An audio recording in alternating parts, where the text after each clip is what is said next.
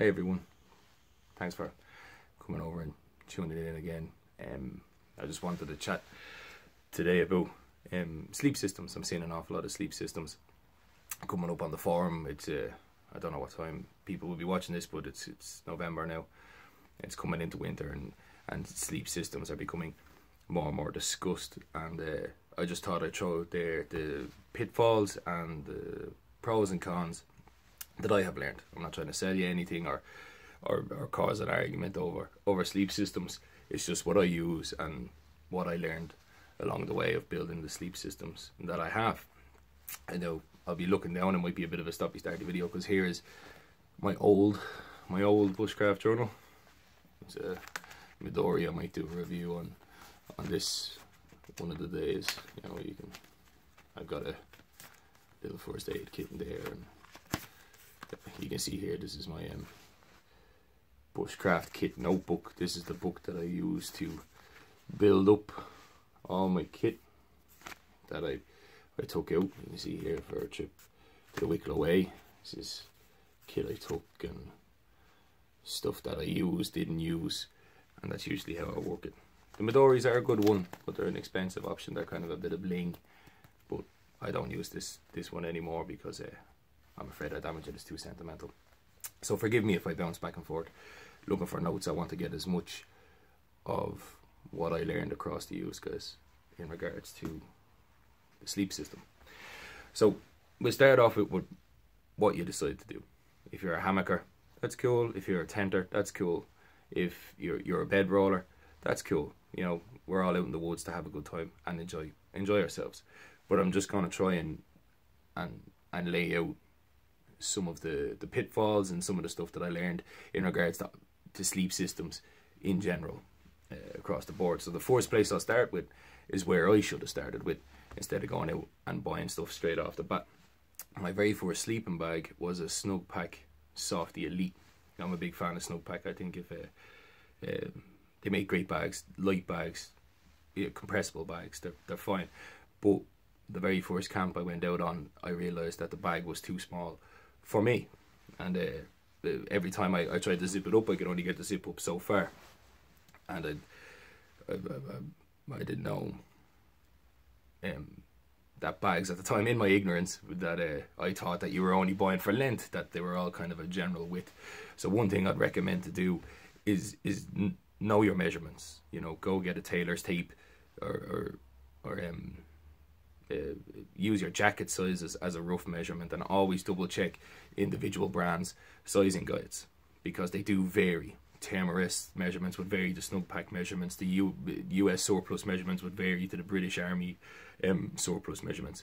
And if you're buying online, which is what most of this market, uh, most of the bushcraft market has become, it is always handy to know what you are is size wise. Chest, shoulders, height, and for in regards to sleeping mats, most importantly in regards to sleeping mats, your weight, because um that that plays a big part in in in the compression and how comfortable a sleeping mat can be. I have I've gone through a heap of sleeping mats and waking up with sore hips and and stuff like that is, is, is never nice. So first thing would be to know your measurements. Now, just for a quick reference, I'm 6'2", I have I'm, I'm a large in a jacket, so that's a 44 to 46 in shoulder width, and I weigh roughly about 15 stone. So you can kind of, if you if those measurements seem about right in regards to you, you can you can see where I've walked it with this. So once you know your measurements, you got to you got to decide what type of camping that, that you want to do. Whether you're going to be a bed roller, whether you're going to camp in the winter, whether you're going to camp in the summer. Now, personally, I find that it's nice to have a bag or a system that works all year round.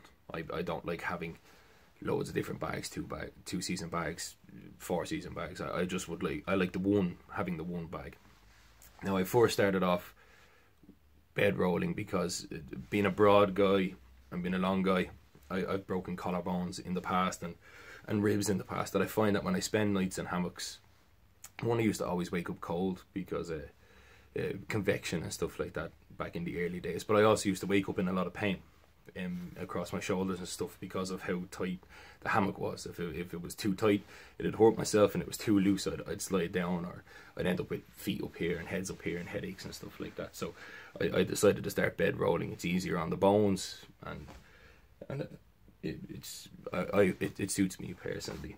So the first thing that I, I went to look at when when bed rolling was the the the, the cheap and cheerful Czech Army bedroll.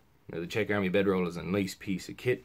If you're kind of a car camper and stuff like that, the, the downfalls I found, just let me check my notes. The downfalls I found with the with the Czech Army bedroll was that one, it was too small for me. Now again, at the start of the video I said my measurements. I'm a large, so 44 to 46, um, 6'2", and it, it's not only me that had this problem. A couple of guys had it, but at the time, it's what it's what suited my budget. Now the Czech Army bedroll is fine if you want to use it as a modified under blanket for your hammock. But I find that that does away with the point of hammocking because you're carrying like the Czech Army bedroll is a heavy, heavy piece of kit. It's it's it's very heavy and you're sacrificing um, an awful lot of weight for very little return in regards to the Czech Army bedroll.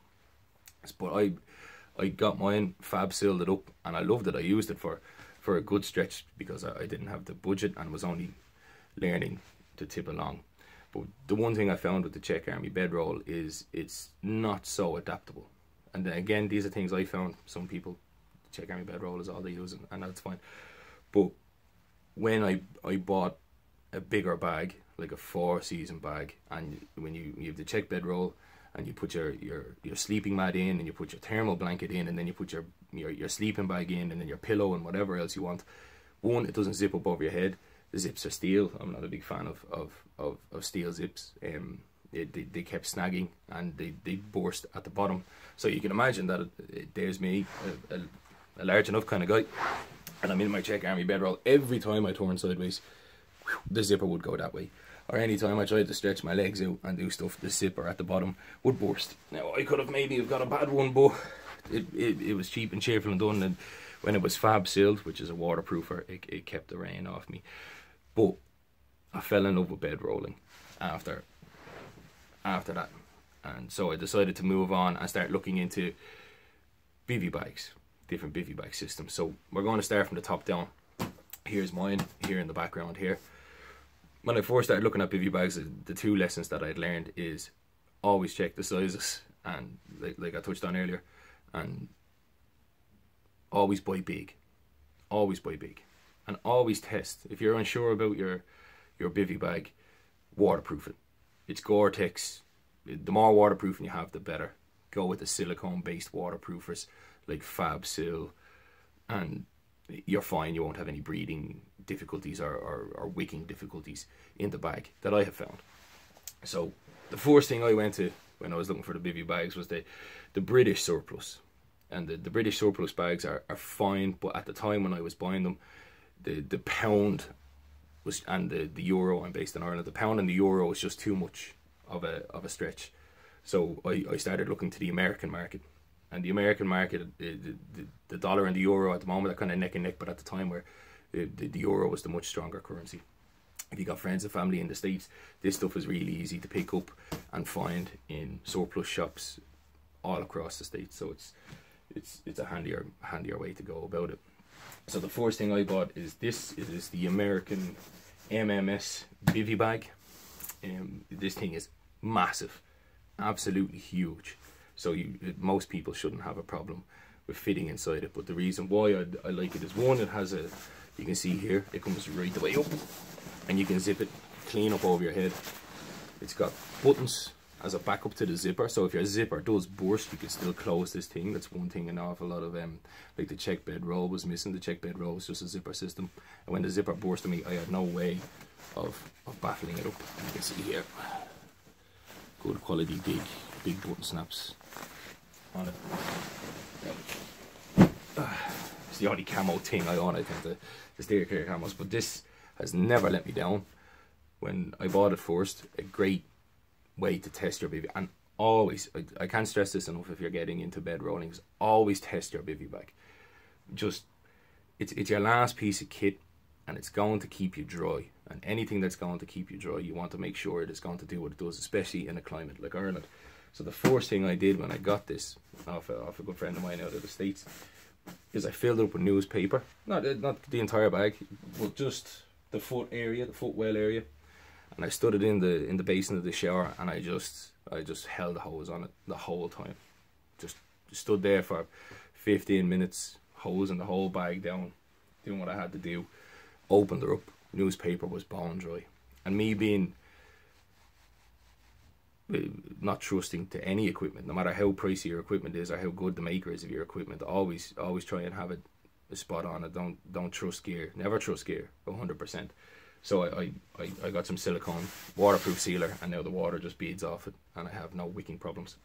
So that is my first layer and I totally recommend the the MMS Gore-Tex bag or the Gore-Tex Bivy bag.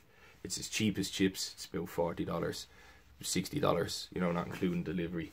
I, have never bought one out of out of Europe, so I don't know. I don't know what the European market charges for. But big guy, big bag.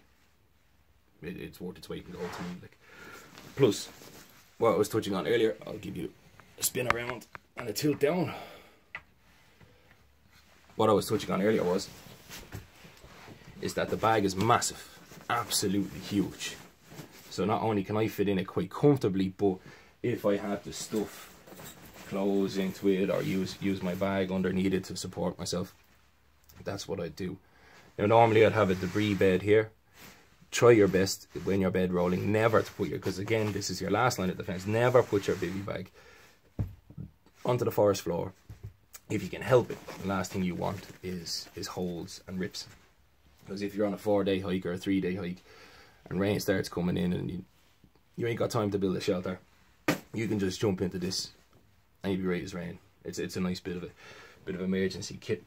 So the the British Army bag, I've never tried. I've I've seen lads use it. It's a fairly big bag. If, if that's the one that's easiest to go, it'd be the closest in size and proportion to this one.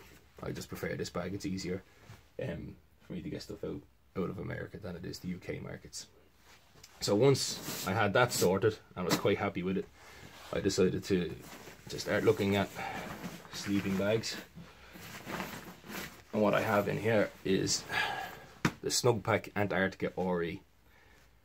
Now, I, we all love our kit, we all own a lot of kit, but but this right here is something that I would never ever part with.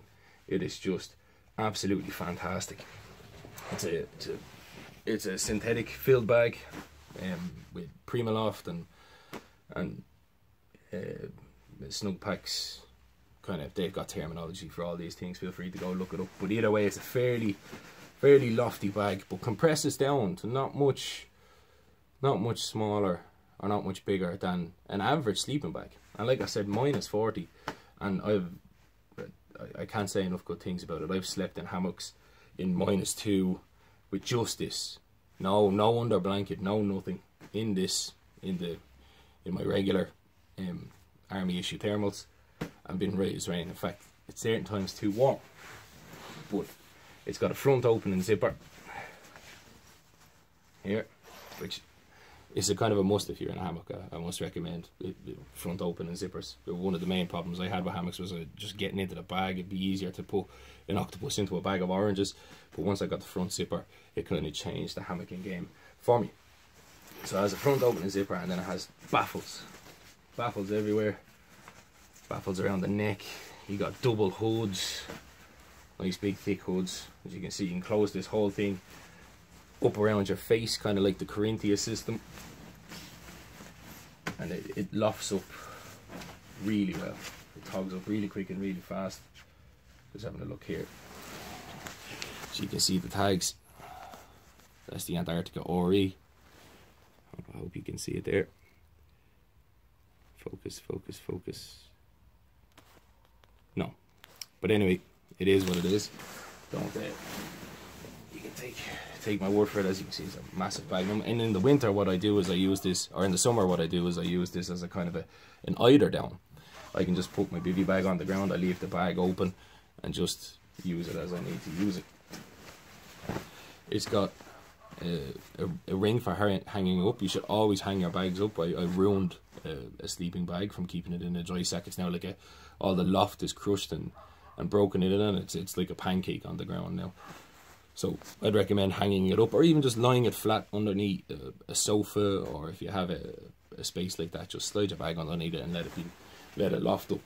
Put down the bottom of this bag. I don't know if I'll be able to get it. There we are.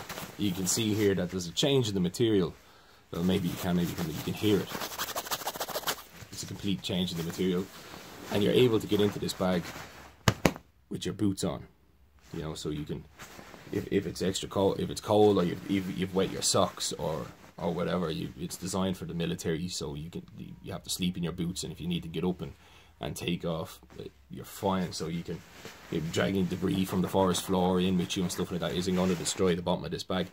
The one thing I will say is because it has this extra protection around the bottom of it, you you will get a bit of moisture on the outside of the bag because its wicking properties are a little less down in this area. Now I have never ever woken up with wet feet, but I have woken up with the, the end of this bag being a little damp.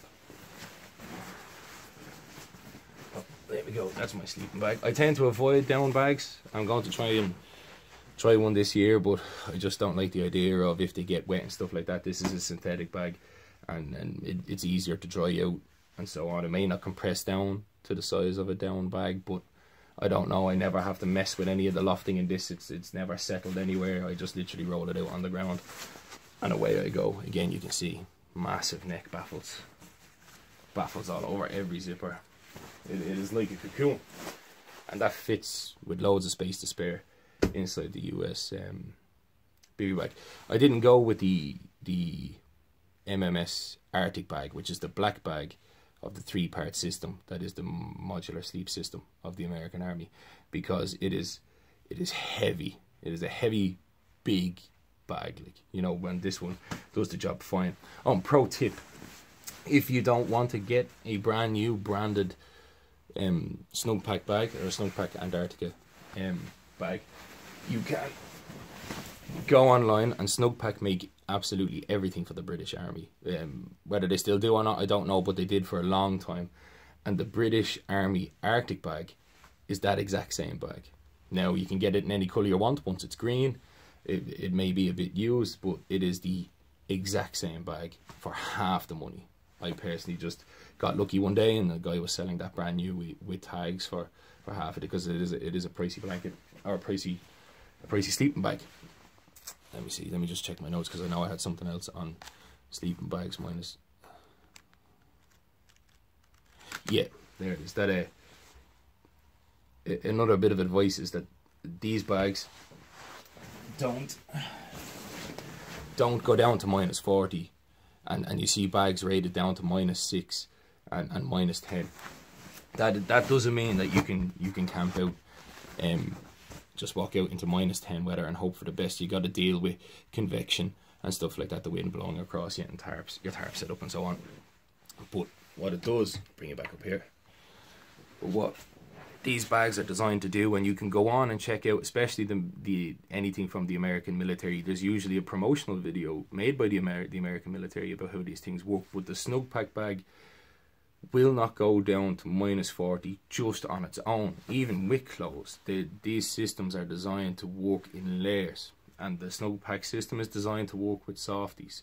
Softies, um, you can buy a pair of Snugpak brand new in various colours, they're quite pricey, but again, you can go on to eBay or Army Surplus shops, they sell softies for, I think I, I have the trousers and the jacket, I think I got for, for maybe 30 euro and that's how you get these bags down to, to really cold temperatures is you know is, is is wearing the the appropriate clothing with the bag. So the MMS has has things like the Wubby and stuff like that for when it gets down to cold.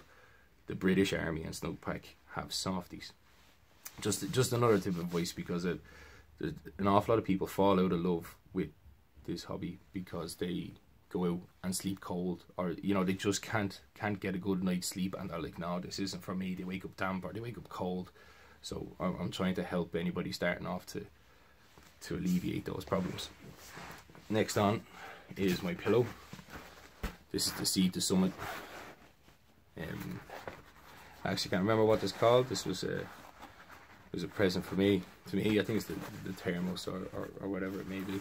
But great pillow, very expensive. I'm not saying get it, don't say don't get it. It's just, uh, with my shoulders being the way my collarbones are, I always found the struggle. I slept on kit, you know, people are like, oh, just put your put your spare clothes into a dry sack and blah, blah, blah. But, you, you know, you wake up with, with a sweaty face or the, the clothes dissipate. It's just too much hassle. This one is about 30 euro. Fits perfectly inside the hood of that. It doesn't roll around. It doesn't move up and down. It's not. You don't wake up and it's halfway out the sleeping bag. It is. It is a nice bit of kit, and it compresses down. It's got three different valves, so you can open this up.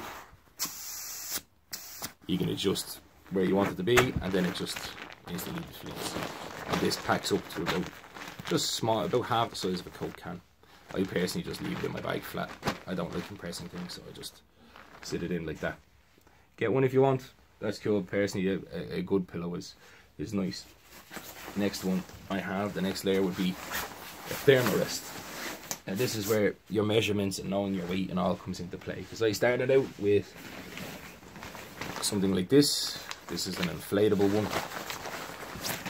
And it just it just can't handle my weight. I, I wake up with sore shoulders and sore hips no matter how hard I inflate it.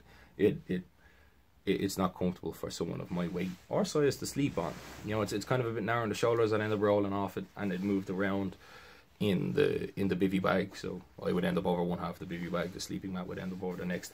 The best one that I found for for my measurements and my weight was the Thermarest. There we go. It's the Thermarest ProLite 4. Now, I have some notes on the Thermarest stuff. It's it's expensive when you go out and you try and buy it from the stores. Now I say expensive; they start from from from sixty euro all the way up to about three hundred euro for the, the super light ones that, that compress down to nothing. Personally, if that's your thing, that's cool. I, I I don't see the point in that.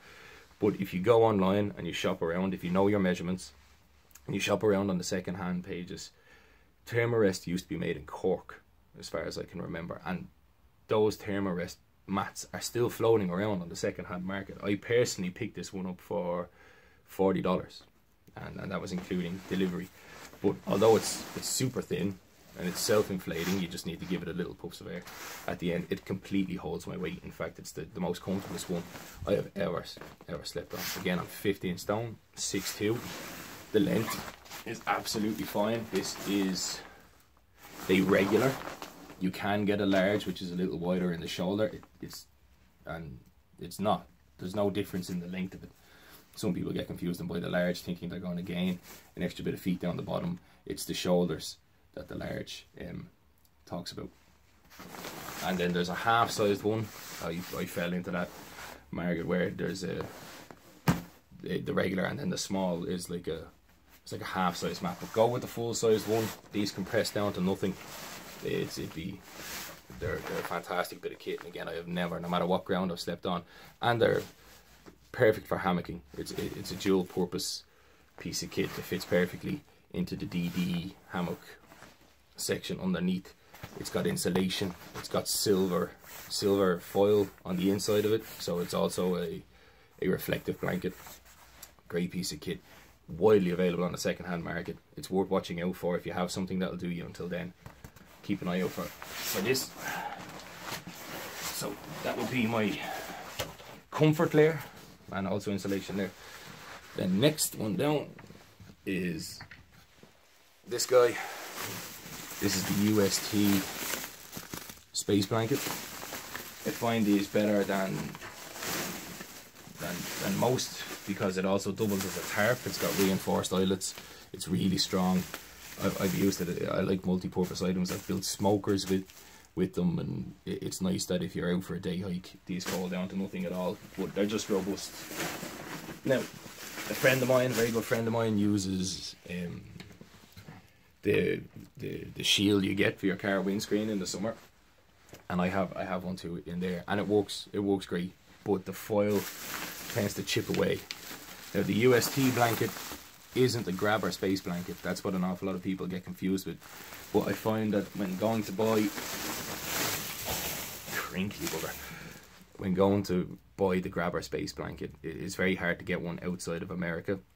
It is slightly better quality. The difference in it isn't isn't much, but when you want to get it out of out of America, you might find one for say twelve dollars, but most of the shipping I've found has been twenty dollars and up. So all of a sudden you're paying nearly thirty dollars or, or or 25, 30 euro for for uh, a very small tarp that you're only really going to use in your bedroll and for maybe a bit of protection. But the UST one you, you can find on eBay. There's English stockists, and I'm sure there's Irish stockists of UST stuff. I, I, I'm not going to rattle them off, but they they're half the price and they're exactly the same.